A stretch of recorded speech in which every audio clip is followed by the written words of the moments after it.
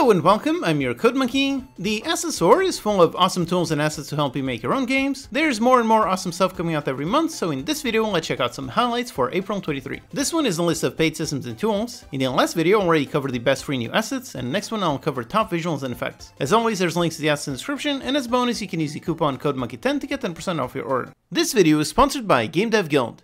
This is a 5-day online game dev conference specifically tailored for Unity devs and focused on giving you practical, actionable, usable advice. Watch over 35 talks from industry experts, including Unity CEO John Riccitiello, Jason Weimann, Thomas Brush, Lana Lux, Turbo Makes Games, and many more.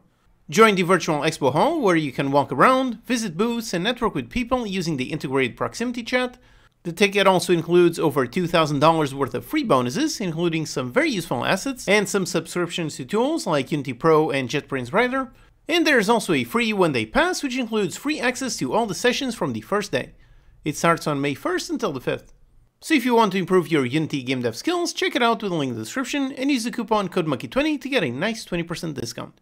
Alright, so starting off with a really impressive rope tool. It looks extremely natural, very impressive. The ropes can sway back and forth, they are connected in various ways. You can connect ropes to other ropes, you can push them around, you can modify the mesh to simulate some chains, you can even drag some objects with ropes, attach them to an object and even bend it, so really it has tons of possibility. Adding something like this really helps the game feel much more natural. Adding these kinds of tiny physics always makes it look great. It runs on your GPU, so it's extremely performant, allowing you to have tons and tons of ropes in your game. Next up, we have a fun one. It's a volumetric heat map. You define a volume and size it, then you can add data at any point inside that volume and easily visualize it in multiple ways. The data is just a simple list of vector 3, which you can populate in any way you want. So perhaps it's your player's movement pattern, perhaps it's a list of where the players died, maybe where some coins were either spent or acquired. It's a really nice data visualization tool, which could definitely help you as a developer in order to analyze some gameplay, or you could include it in your game so your players can visualize their own data and learn how to play better. Then here we have a nice enemy AI system, perfect for any kind of stealth game. You define the enemy patrol areas, you can throw things to distract some guards, they will walk there and go into an alert state. It features a cover system where enemies will not see you if behind cover, then over time their alert level goes down, although if you do get spotted they start shooting, other enemies can listen to the shooting and attack the player. So I could see this as being an excellent starting point if you want to build a nice stealth game kind of like Splinter Cell. Up next here is an interesting tool that can be very useful if you use any external assets. It's a mesh extractor, so you can grab any assets you have, maybe from an asset pack, then you can click to select only the parts of that asset that you want, and you can extract them onto their own separate mesh, it definitely looks like a very useful tool. I've needed to do this exact thing a bunch of times, and the only way that I knew how to do that was using ProBuilder. However, ProBuilder, the cut tool, is quite a bit janky, it always has some issues, whereas this one seems to work perfectly in every scenario. You can extract the mesh, position the pivot, extract the textures, and export it as an OBJ. Definitely a very useful tool to have in your toolbox. Up next is another very useful tool. This one is for painting meshes. So you pick up a mesh, any mesh, then you can simply use the mouse to select individual polygons polygons and paint them with a different material. This can be especially useful if you like using a low poly style just like I do,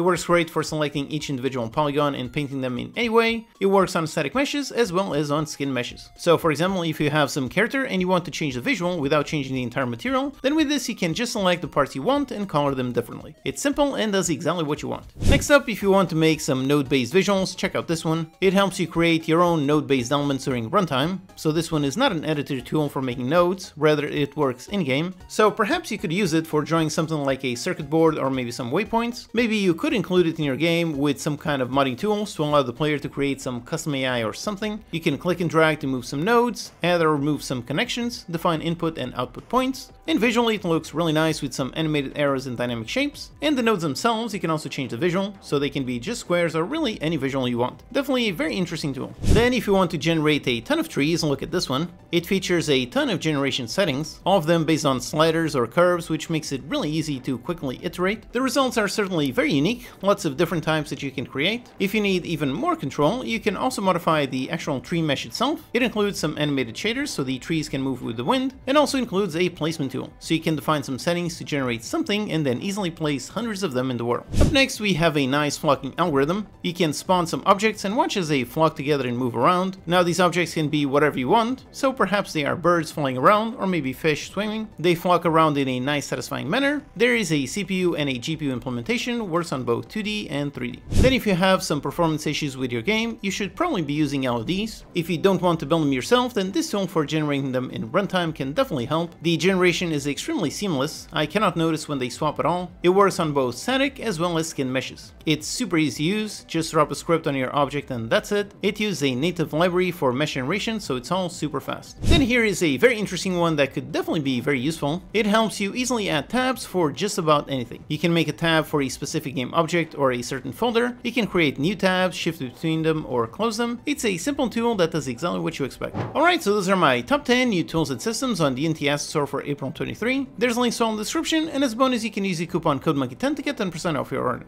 Also check out my own free and paid assets on the store. Alright, hope that's useful. Check out these videos to learn some more.